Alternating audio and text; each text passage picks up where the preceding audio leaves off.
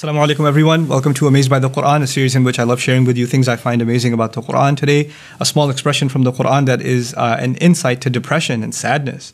Allah Azza wa Jalla says, وَلَا تَهِنُوا وَلَا تَحْزَنُوا وَأَنْتُمُ الْأَعْلَوْنَ إِن كُنتُم مُؤْمِنِينَ Don't be, don't feel weak. Don't be weakened. Uh, wahan in Arabic is actually a feeling of uh, not being able to exercise change. In other words, no matter what you do, things aren't changing, things aren't getting better, or the, your best attempts have failed, and now you feel incapable of succeeding. When one when that starts settling in, like oh my my efforts have failed, or I haven't been able to accomplish, then the next phase wala tahzanu, and then don't be in a state of grief. Sadness kicks in you become that that uh, original paralysis, that original you know failure. It then uh, leads you right into huzn. So Allah Azza wa doesn't just say don't be sad. He actually went to the root cause. The root cause was some kind of failure, some kind of disappointment that kind of wore you down, and it started taking away your own confidence, your own belief that you can actually do better. You know, subhanAllah. So Allah Azza wa and He did this by the way, one of the places He did this is in the Battle of Uhud, where Muslims suffered amazing amount of loss, an incredible amount of loss. But He turned that loss into something positive. He actually, in the very next ayah, says, You know,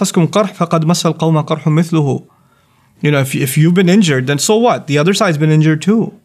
وَتِلْكَ الْأَيَّامُ نُدَاوِلُهَا بَيْنَ النَّاسِ no, toughen up. These are days that flip between people. You're gonna be, you're gonna have easy days. You're gonna have hard days. Don't let this overwhelm you and just you know beat yourself up. As a matter of fact, huzn is a, a state in which a person is actually torturing themselves. The sadness is when you're beating yourself up.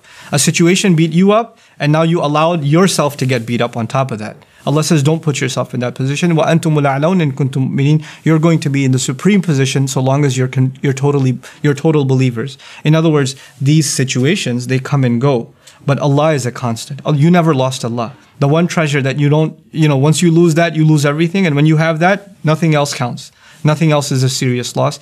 So long as you have that, you are never, ever, ever going to be in a state where you need to be depressed. La tahinu wa la. So, so beautiful. May Allah Azza wa make us a people who don't feel overwhelmed when facing facing failure. And may Allah Azza wa make us a people who can always stay away from, you know, this the, the shadow, the, the, the casting shadow of sadness that can take away all of the good, all of the positive that we have in our lives. Barakallahu li wa lakum. Assalamu alaikum wa rahmatullahi wa barakatuh.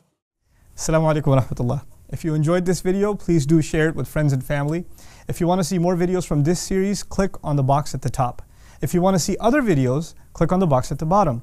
And don't forget to hit the subscribe button. Thanks.